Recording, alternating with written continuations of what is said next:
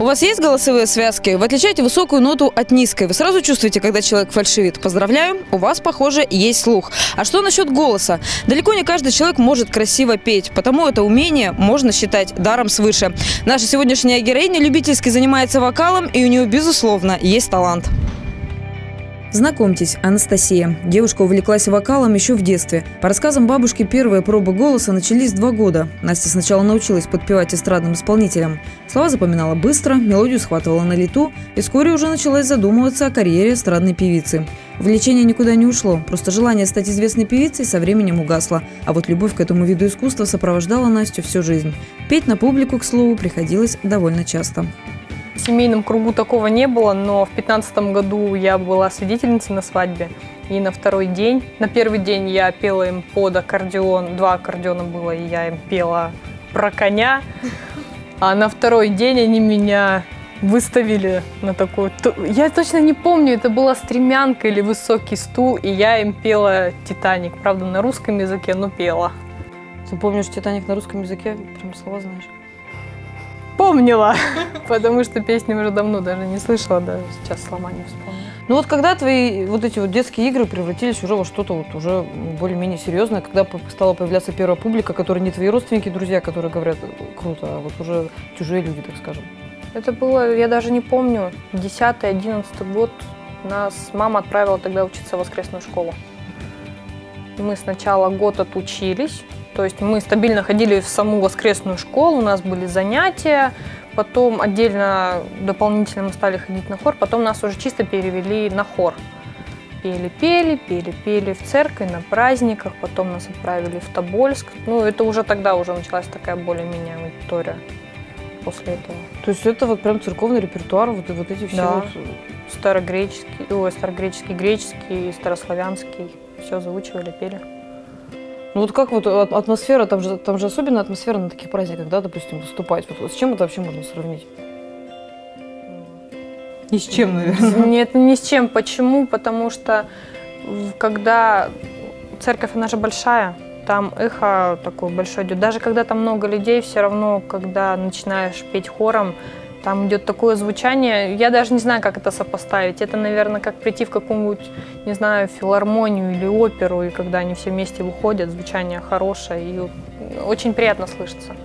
То есть, с одной стороны, уже можно понимать, что у тебя есть некое музыкальное образование по этой части. Я так понимаю, это не единственная учеба, которая у тебя была вот именно в плане вокала. Нет. То есть, что еще? Музыкальная mm. школа там? Музыкальная школа, три года фортепиано я отучилась. Потом я решила то, что мне, не понравилось. Ну, сама сидишь, что-то играешь. Мне это ну, как-то скучно стало. Я ушла, и через год у нас открыли народное отделение. То есть не то, что танцы, а чисто хоровое народное отделение. У нас тогда было пятеро, по-моему, или шестеро человек. То есть я с ними начала вместе, потом через три года я закончила, они до сих пор уже и ездили, по-моему, за границу. Я точно не знаю, ездили, не ездили, но по России они уже успели съездить. Да, у каждого человека есть способности. Их нужно просто-напросто развивать. Вот и все. Вот тогда не могу спросить, много споров в интернете по поводу того, что можно человека научить пению или нет, если у него, допустим, нет данных, ну, вот изначально. Какие у нас данные? Слух, голос? Ну, если у человека есть слух, и он может как-то красиво распеть песню, я просто прям не буду вникаться в музыкальные термины, пару-тройку раз уже стабильно можно начать э, нормально петь. Потом уже даже профессионалы, они потом занимаются упорно-упорно, у них получается. Но если слуха нет, это опять же намного тяжелее будет. Но тоже реально. Тоже реально. Все реально, на свете все реально, ребята.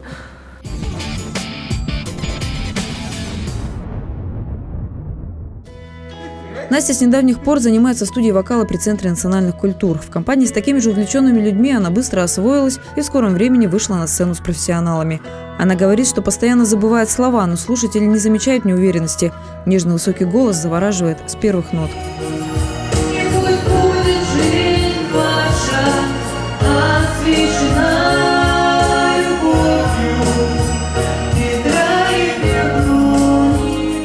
Очень приятная податливая, э, умеющая слушать, что немаловажно.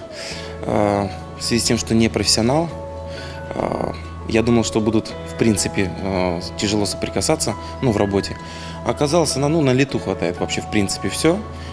Неважно, какие ноты там. Ну, то есть она, она не задумывается, так как она не профессионал, она не задумывается, тяжелая нота, не тяжела. Она просто берет и делает. В этом плане, конечно, плюс огромный. Ну и да, природные данные. Я считаю, безусловно, у Анастасии есть талант. э, Ей нужно продолжать э, в этом же духе петь, выступать. Ну и, конечно же, больше улыбаться и радоваться жизни.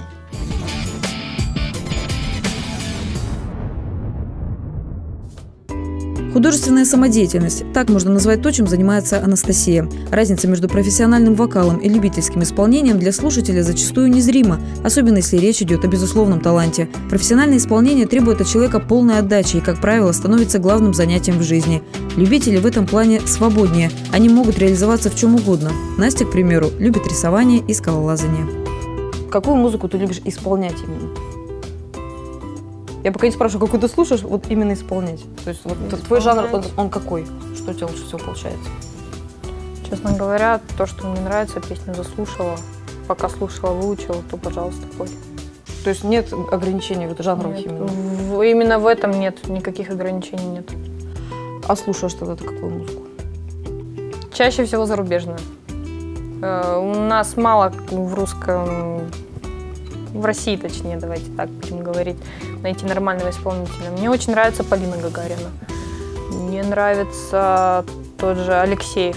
Я, правда, не знаю, он, по-моему, с Украины. То есть, если вслушаться, в принципе, в песню, в суть песни, то да. А так, в основном, зарубежные. Ну, если брать именно вот нашего Но музыка времени. популярная, я так понимаю, да? То есть это там не рок, не рэп, там не... А там уже под настроение. Нету какого-то определенного, то, что вот я слушаю именно эту группу, именно вот это направление. Я послушала где-то, нашла, в тех же новостях полистала, в Инстаграме наткнулась на видео, находишь, слушаешь, послушала, надоело, перешла к другой песне, но чаще всего возвращаюсь. Как ты считаешь, для человека, который увлекается таким творчеством, да, вокалом, вот что достижение успеха для такого человека? Единожды выйти на сцену или, может быть, получить какую-то награду, а если награду, то какую? Что это должен быть за конкурс? Вот что? Вот для тебя что? Чаще всего для меня выйти на какой-нибудь конкурс это уже победа. Почему? Потому что выступать, выступать. А вот что больше всего боюсь, это выступать. Потому что когда ты выходишь на сцену, как бы хорошо ты не знал текст. Ну, это именно в моем случае. Как бы хорошо я не знала текст, как бы хорошо я не готовилась, как у меня прошла генеральная репетиция, я выхожу на сцену, я все забываю. Порой доходит до того, что думаю, выключите, пожалуйста, музыку, что эти люди здесь делают, и я вообще забыла текст. И все, три, два, все, вспомнила, пошли. Все. А для некоторых э, получить высшую награду для себя, тоже просто выиграть конкурс или пошел на Евровидение. Я участвовала в тринадцатом году в «Полярной звезде», потом, потом, ну, потом у меня неудачно, правда, вышло. Потом, опять же, я опять не выходила, потому что не, ребят, не, не, не. А так я даже фестиваль не помню. Чаще всего я, вых- я выходила с нашим коллективом. Ну а так, если отчетные концерты, какой-нибудь отдельный концерты наши, пожалуйста, я вам выйду. Потому что в основном туда приходили либо родители, либо преподаватели, либо, опять же, граждане нашего любимого города. Ну, все равно, когда приходили отдельные люди, мне как-то уже не хотелось даже выступать. Ну вот сама ты об этом сейчас начала говорить. Публика тогда какая для тебя самая комфортная публика? Вот перед кем приятно выступать? Я одна. Пустая комната? Честно, да, я одна. Я с бабушкой ездила в этом году в отпуск. Да и вообще чем-то занимаюсь. Я начинаю сначала про себя что-то выть, выть, выть, потом что-то дальше, дальше. Доходит момент до какой-нибудь кульминации. Я там посуду мою в наушниках, стою, кричу, никому не нравится. Я никого не слышу. Я пою, поэтому удобнее всего для себя. И я смотрю, ты себя э, пробовала в разных, так сказать, ва- вариациях, да, исполнения. То есть у тебя там и ансамбли, да, там хор, и дуэт, возможно, был, и сольно ты выступала, наверное, не видела, м, возможно. Вот тебе как комфортно выступать в группе людей одной? Вот что тебе ближе? либо одной, либо большим коллективом. Потому что чаще всего, когда поют дуэтом, опять же повторюсь, это именно ну, на моей практике, когда выходишь с каким-нибудь человеком дуэтом петь, некоторые люди просто думают, что отпоешь и отпоешь. То есть э, если, если петь дуэтом, косяки намного лучше слышны. Ну, опять же, в моей практике. А когда выходишь огромным ансамблем, Кто-то в этой стороне косячит, ребята, давайте все заново. И вы тоже косячите, давайте заново. И рубишь, рубишь, рубишь, потом уже понимать то, что давайте уже все, мы все. Спели прекрасно, все усвоили урок, до свидания. Я так понимаю, на рестлинской сцене это недавно, а вообще у тебя какие-то вот перспективные планы есть вот в, в- в этом? Вот мы тебя, может быть, чаще будем видеть? Или, может быть, у тебя какая-то идея есть? Может быть, какой-то свой в голове пока крутится проект? Пока что нет, почему? Потому что ме- месяц назад только начала ходить, то есть это Ты ходишь на возобновление вокал, практики, получается, да? Пока вспомнишь, что да как. Ну, дома можно попеть, а так, если уже начинать нормально, это уже нужно каждую ноту там прослушивать. Я думаю, у человека, который ходит на сцену, рано или поздно возникали какие-то или неприятные, или смешные ситуации, или, может быть, какие-то душевные моменты, когда там, не знаю, весь зал плакал. Вот у тебя были какие-то такие интересные концерты запомнились? Это была «Полярная звезда», 13 год. Э, У меня там была очень красивая лирическая песня «Цвели восторженно сады кудрявые». И там что-то про паренька пелось, про гармошку. И, ну, как вот стандарт, э, куплет идет э, четыре строчки. И начинается второй куплет, я понимаю, то, что я начала не петь те строчки. Я два раза спела, а никто даже не заметил. Я потом подхожу к своей преподавательнице. У меня слезы градом. Говорю, я, я не спела, не спела. Да, также потом маме показывала, подружки ВКонтакте выкладывали. Нет, все нормально, даже непонятно. Думаю, ладно.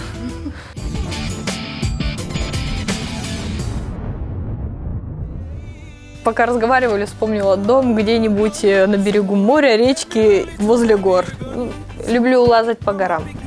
Даже в лагере была в тринадцатом году в Харпе. У нас был первая смена у нас была. Мы лазили на Раис, а по второму сплавлялись по Сабе. Так что рисование это у тебя не единственное хобби-то, вот, э, как открывается. Вот еще у нас туризм и скалолазание, так скажем, Да. и так далее. Может, еще что-то ты не, не успела про себя рассказать? Да, вроде бы все. Не вышиваешь крестиком ничего? Не-не-не-не-не-не. Э, Еще вот э, напоследок хотелось бы какой-то совет или пожелание тем ребятам, там, молодым девушкам, которые вот только-только ищут себя в каком-то творчестве, может быть, в том числе и в вокале. Что им можно посоветовать? Хотите заниматься? Занимайтесь, потому что спасет практика. А, Так, там сходил, попел, два месяца прошло. Там сходил тоже два-три раза, попел, вернулся обратно. Нет, так, так не будет. То есть здесь нужна работа, правильно? Здесь работа над собой и над голосовыми связками. Она скромная, сама по себе, по характеру. Стеснительная и скромная. Поэтому есть смелость. Все остальное прибудет. Всему остальному можно научиться. Надо быть смелее. Не бояться оступиться. У Анастасии э, есть стремление, поэтому она добьется всех успехов, я уверен.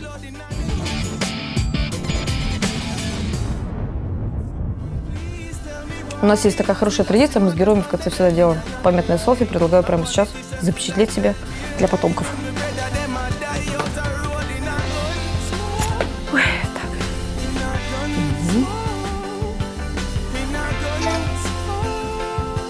Смотрим. Потому что это все пойдет в соцсети, как рекламка. Устраивает? Mama pick me run a beer gun smoke. Can't find a love only gun smoke. It's like they don't know what about the loving when you don't show. If you know what are the plans, then it won't.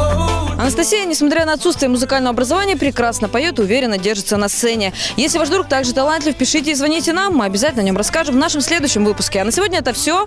Это была программа «Кислород». До новых встреч в эфире.